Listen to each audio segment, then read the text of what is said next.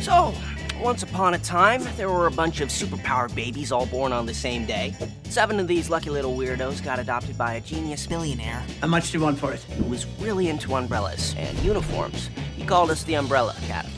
He also called us by numbers instead of actual names. Number four. Number three. Number five. Number one. Number seven. Oh, yeah, Father of the Year. We were a world famous superhero family for a while until, one by one, we all grew apart and then fell apart, I suppose. Except me, though. I got stuck in the future. Post apocalyptic future, I might add. And I was stuck on the moon, okay? I didn't fall apart. Yeah, that's debatable. Hey, rehab is not falling apart.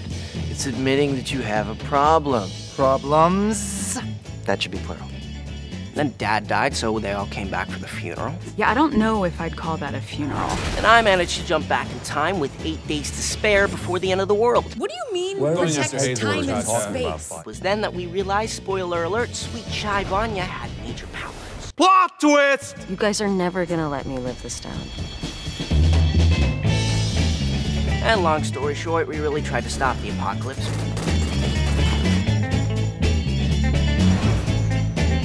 think I have a way out of here, but you gotta trust me on this. No, I don't think so. But now we're here.